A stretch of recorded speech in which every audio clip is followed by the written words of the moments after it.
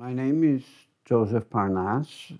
I am a psychiatrist and a professor of psychiatry at the University of Copenhagen. And the topic of this uh, short lecture, hopefully, um, is the issue of insight into illness in schizophrenia and the related issue of something which is called double bookkeeping.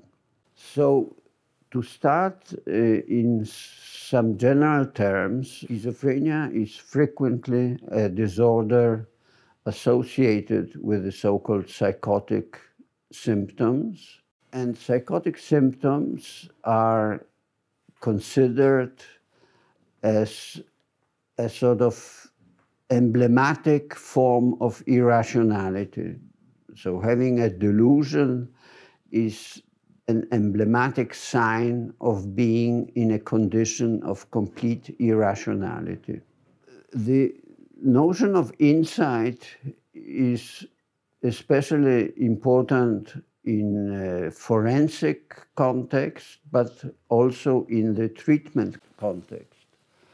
So the typical treatment of psychotic illness with antipsychotic drugs, for example, has as it, its purpose to bring the patient into the condition of insight into illness, make him aware that he's sick. And the definition of insight in the DSM is awareness of illness, awareness of having symptoms and signs, and consequences, social other consequences of one's illness. One uh, characteristic feature of schizophrenia is that there is what is called a lack of insight. The patients often fail to realize that they are psychotic or that they are ex their experiences are psychotic, delusional, and so forth. So um, there are different theories about uh, why the psychotic patient uh, does not have insight into his illness.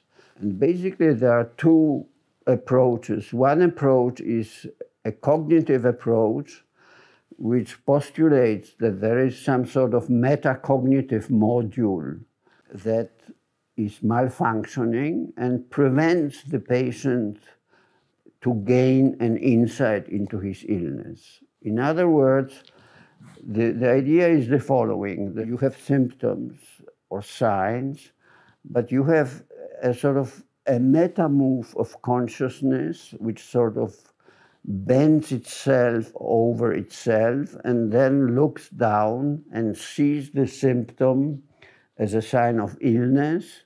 And this is metacognitive move exerted by some sort of metacognitive module in the frontal lobes.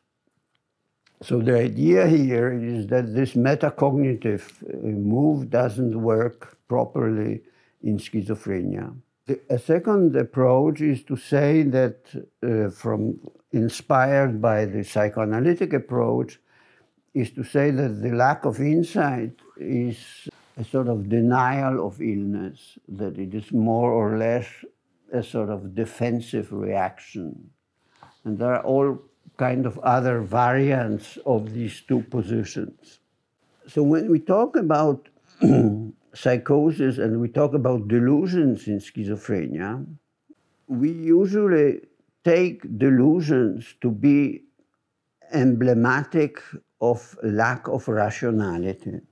And rationality is difficult to, to specify and define, but we all have, uh, I mean, it is a sort of intersubjective tacit consensus of what is reasonable, what is likely, what is unlikely, what is true, what is false.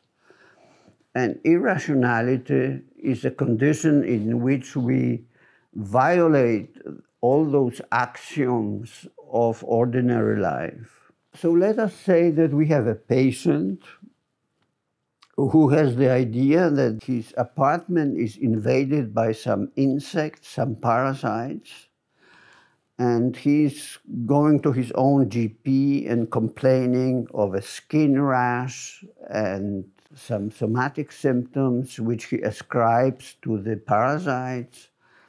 And then the doctor says, well, no, it's unlikely. Then the patient sort of writes a complaint about the doctor. Then there are certain commissions from the Technological Institute to inspect his apartment. They do not find par parasites.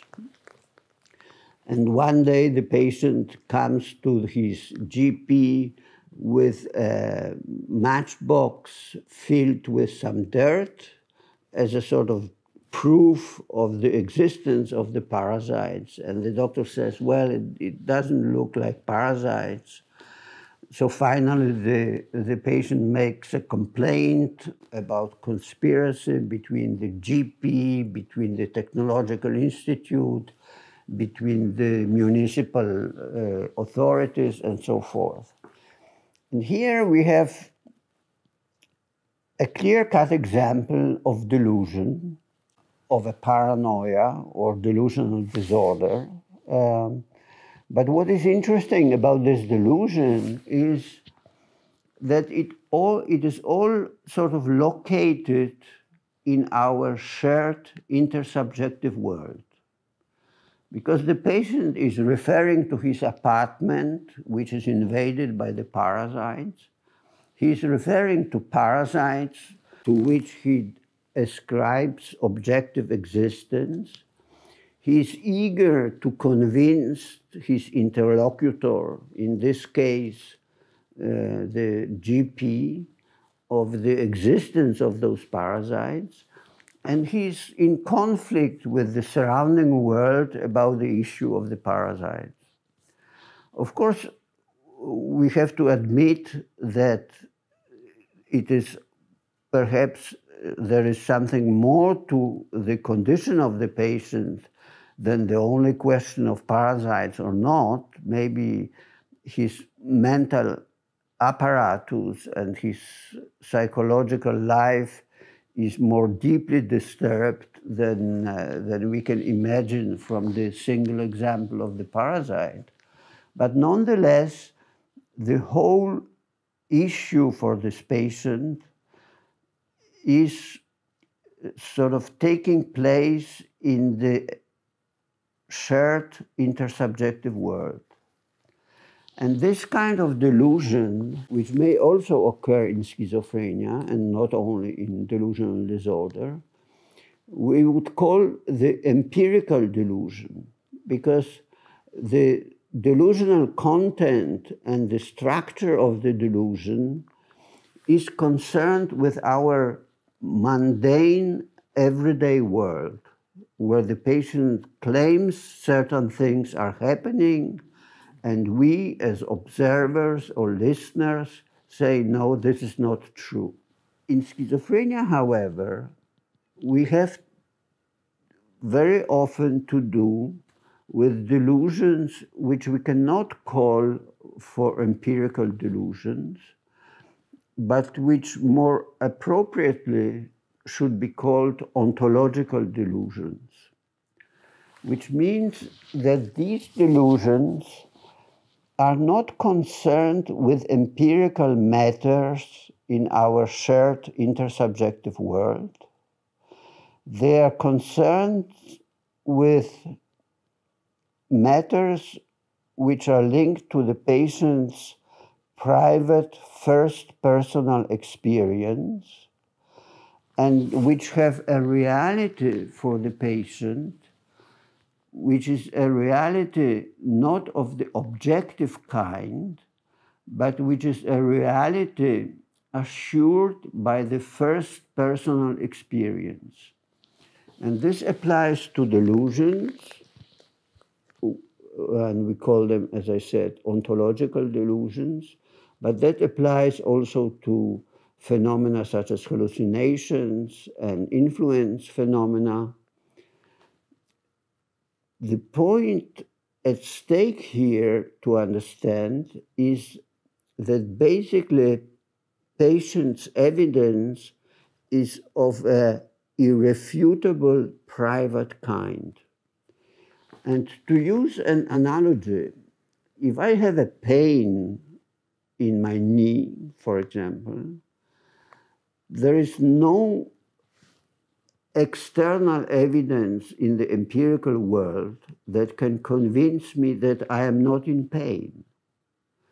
So if I say to you, I am in pain, and you say to me, no, you are mistaken, then we do not speak the same language because then it shows that you have not understood what the pain means, what, what is the notion of pain.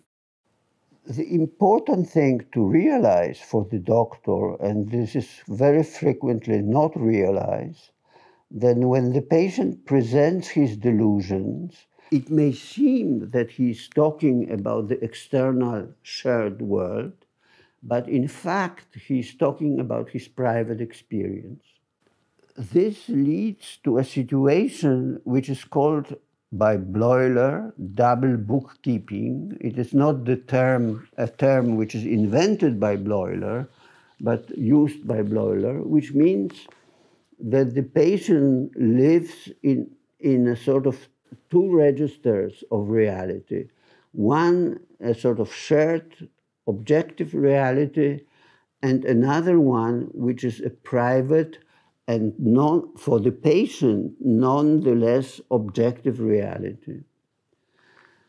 A classic example of this situation of double bookkeeping may be taken from Daniel Paul Schreber, a very famous judge who developed schizophrenia and was committed to an asylum, and who, who wrote his memoirs of his mental illness in the beginning of 20th century. And in this book he writes, uh, I can even say with Jesus Christ, my kingdom is not of this world. And then he describes all kinds of abnormal experiences, and he says these experiences reflect my communication with the divine and not uh, matters of the empirical world.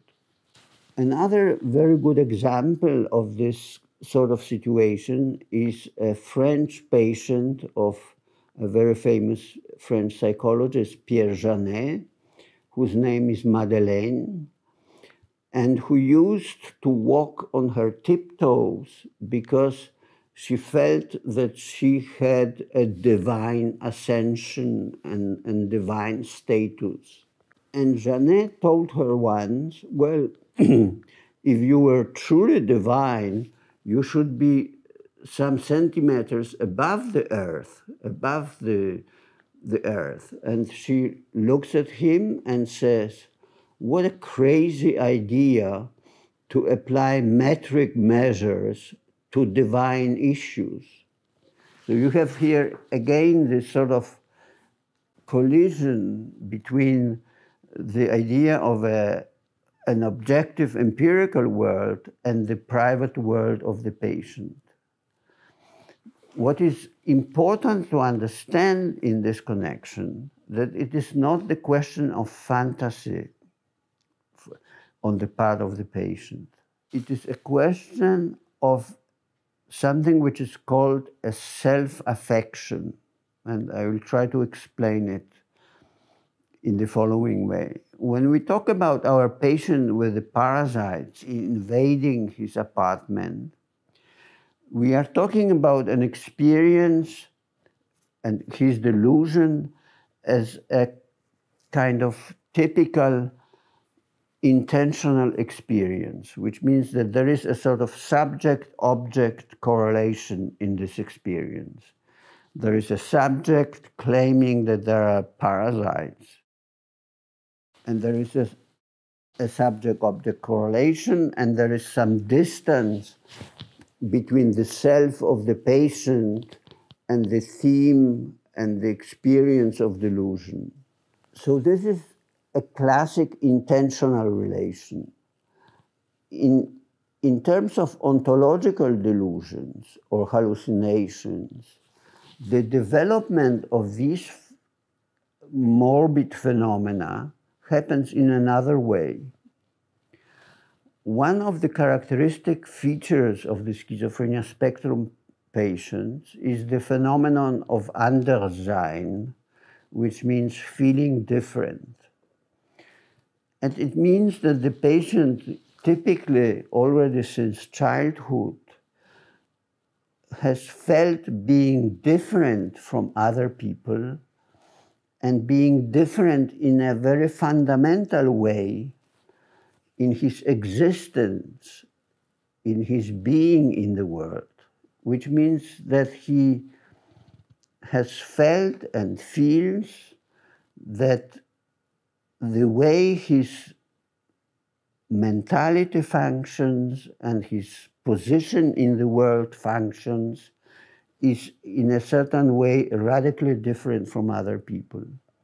So this feeling of difference usually precedes what the patient thematizes as being different. So the feeling of difference precedes finding out what is different. This feeling of difference may be related to some other disorders of selfhood, where the patient may have some solipsistic insight into the true nature of reality. And this Anderssein is one of the features of the disorder self in schizophrenia. So, what happens in the development of the ontological delusions or development of hallucinations is not a psychological event which has a clear intentional subject object structure. Rather, what happens in the development of these delusions and hallucinations is something which happens within the selfhood of the patient, where the part of the self becomes sort of disconnected from the self and becomes an other. This is a process called as alterization by French psychiatrists, and it is a process which, as I said, does not have true intentional structure, but rather a process in which the self sort of bursts out, out in, in a sort of disintegration and it is a process which we can compare to the phenomenon of revelation. So it's not a sort of knowledge acquired from the external world, but it's a revelation within one's own subjectivity. And this revelation has a phenomenological character of self affection in the same way as pain is a self affection as a mood is a self affection, which means that there is no distance between the self and this which affects, so to say.